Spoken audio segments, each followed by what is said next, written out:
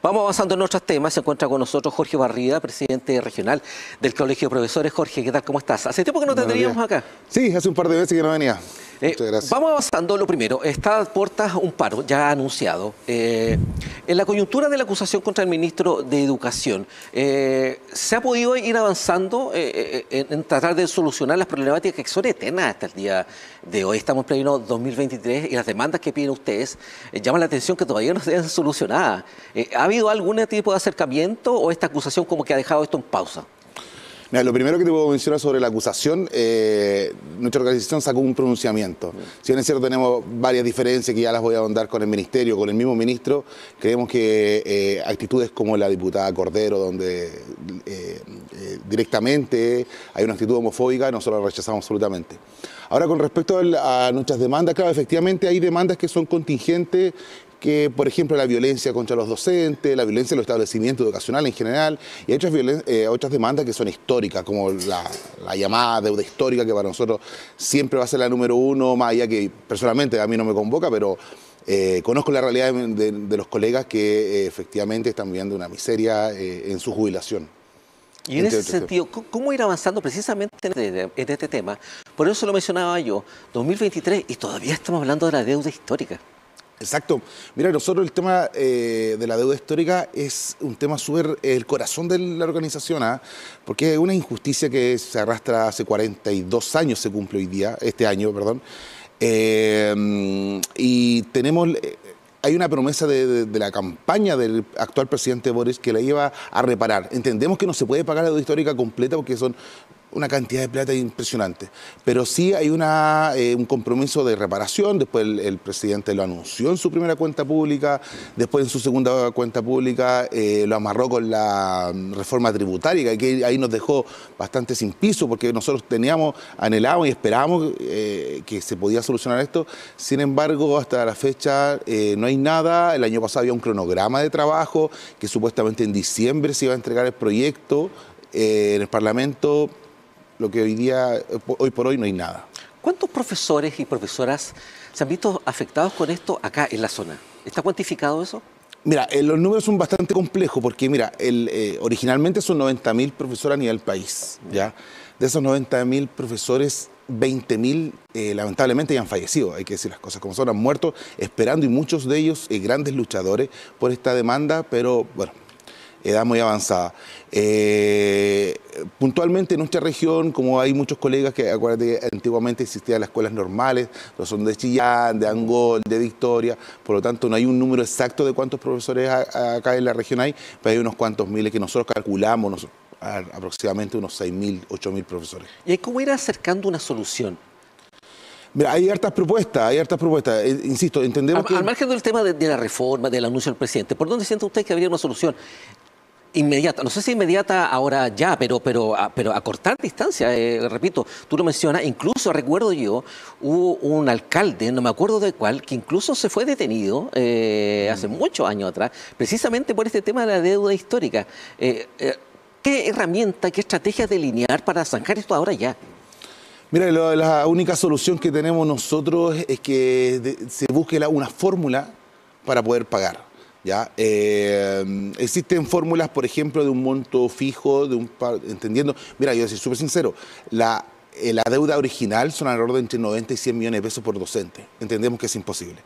Eh, pero hay, gente que propone un par de millones, ¿verdad? A mí, Jorge Barriga, más allá de como colegio de profe, a mí yo creo que la mejor alternativa sería un aumento de sus pensiones. O sea, tenés colegas que le eh, entregaron 40, 42, 45 años a, la mayoría de la educación pública, eh, que reciban miserias de 250 mil pesos, 300 mil pesos y eso, y algunos menos, creo que eh, es bastante, digamos, denigrante, por lo tanto, un aumento de la pensión permanente hasta que ellos fallezcan, no sé, 200 mil pesos, 300 mil pesos. Les va a cambiar sin duda el, ritmo de vida que llevan hasta el momento. Pero esto es un tema de voluntades. Insisto, el, gobierno lo amarró con la reforma tributaria y, estamos estamos en stand-by, digamos. Dado el tinte de esto, de las coyunturas que están afectando al mundo del profesorado, eh, ¿el paro ya vendría siendo indefinido? Mira, nosotros tuvimos Asamblea Nacional hace un mes más o menos, definimos que eh, Asamblea Nacional es la máxima instancia de la organización, eh, definimos que íbamos a hacer un paro de advertencia 24 horas ya el 26 de julio. ¿Por qué el 26 de julio? Le dimos un plazo al gobierno, oiga, gobierno, mira, acá están nuestras principales demandas, porque acotamos nuestro petitorio, acá están nuestras principales demandas, que una es la deuda histórica, hay, varias más. Eh, luego vamos a hacer un paro de 48 horas, luego viene una asamblea ordinaria, digamos, de la organización eh, en Santiago, que es el 17 de agosto, y sin aún a la fecha, ya dándole un plazo de más de un mes al gobierno, no hay respuesta a nuestras principales demandas, eh, sí podríamos llegar al paro indefinido. Lo cual, eh, ojo, te lo digo William, a nosotros no es lo que nosotros queremos, no es nuestra finalidad ir, marchar, parar, no, no, no, no, pero después de ya llevamos un año y medio de gobierno y no hay respuestas, tenemos que movilizarnos. Lamentablemente todas las, cosas que hemos logrado como organización, como docente, como profesionales, han sido en la calle. Vamos al tema sí, eh, lo evaluamos, de hecho, la última vez que conversamos, precisamente mm. cerca de las 14 horas, eh, hace ¿Cuánto fue esto de la ciencia? No me acuerdo. ¿Un poco más de un mes tiene que haber sido? Quizás por ahí. Probablemente. Eh, analizamos eso. Y otro, eh, el día lunes estuvo con nosotros la Serie de Educación en el Conéctate por la noche y analizamos los porcentajes de asistencia. 88 sobre el 80%. ¿Qué significa para usted esta cifra? Y lo otro, en el tema SIMSE se han anunciado una serie de medidas, eh, por ejemplo en el área de las matemáticas. ¿Siente que son las medidas adecuadas? Y lo otro, ¿qué significa para ustedes este número en particular en términos de asistencia? Mira, la asistencia todavía estamos bajo en comparación ante la pandemia. Ya el año pasado fue un, fueron porcentajes muy bajos, pero entendiendo que muchos apoderados, apoderadas tenían, eh, digamos, temor aún mandar a sus hijos e hijas. Eh, este año se ha aumentado considerablemente, pero aún no llegamos a los números que teníamos antes de la pandemia. Por diversas razones. Hay apoderados que previenen, tienen un pequeño resfrío y no lo envían. Eh, este mes de junio, perdón, fue un desastre Sims, esa, perdón, Sims, la asistencia fue bajísima. Ahora, con respecto al SIMSE, eh, nosotros como organización siempre hemos sido sumamente críticos con el SIMSE. ¿eh? Eh, es una prueba, recuerda que hace un par de años había un ministro que le puso un semáforo a los colegios, o sea, este colegio es bueno, este es malo, en vez de invertir, y ojo que también el SIMSE va amarrado a recursos económicos para el establecimiento. Entonces, claro, y, no es la fórmula, creemos que esta, esta prueba estandarizada, donde tú mides al, estudiante de cuarto básico en Arica, en Puerto William, en la cordillera, en el mar, en un estrato social que, no sé, un, colegio privado que pagan 500 mil pesos y otros que son gratuitos, con la misma prueba nos parece que es injusto para todos y más aún si van va, va ligado con recursos económicos para el establecimiento. Y en el tema de, comprensión de lectura, que también estamos, estamos mal. Mm. Estaba escuchando yo algunos canales nacionales, una serie de entrevistados académicos, y hacían el análisis y la proyectaban estas generaciones, quienes van a ser las generaciones que de aquí a unos cinco años más van a estar eh, eh, eh, en una serie de, puestos de importancia o dirigiendo el país o encabezando las matrices productivas y el análisis era bien, bien en ese sentido, casi de catástrofe en ese sentido. Para ustedes, ¿hay alguna manera de, de, estas brechas en todo sentido, los resultados del CIMSE y así, ir disminuyéndola o es lamentablemente se va a tornar bastante crítico el nivel educacional o el nivel profesional de quienes hoy día están estudiando la enseñanza media? Mm.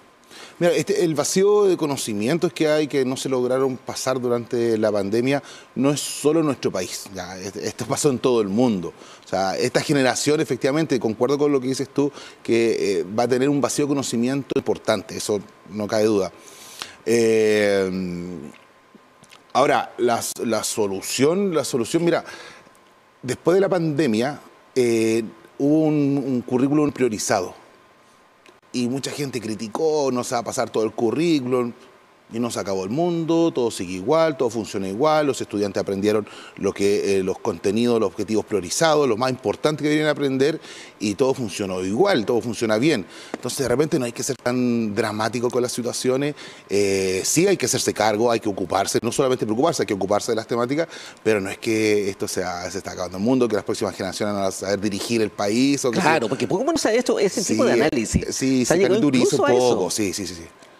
Oye, Jorge, desde ya agradecer eh, tu visita acá en una jornada bastante fría. Gracias por estar con nosotros. Seguramente más adelante te vamos a estar contactando para ver cómo avanzan estas herramientas anunciadas por el CINCE y los temas clave. Avanzar en comprensión, avanzar en mejor infraestructura, que es un tema que también nos queda pendiente. Sí, hay muchos temas. Uno de los temas, de hecho, es la infraestructura que tenemos nosotros, eh, digamos, apuntado en nuestro petitorio. Eh, hay temas que están, son bastante, o sea, todos los temas son bastante transversales. esperemos que el 18 18 de julio, que la próxima reunión que tiene el Colegio de Profesores y Profesores con el Ministerio de Educación, eh, se den luces. Insisto, nosotros no queremos llegar a una paralización total, pero si no hay respuesta, nos veremos obligados. Muchas gracias por la invitación, William. No, gracias, Jorge, nuevamente.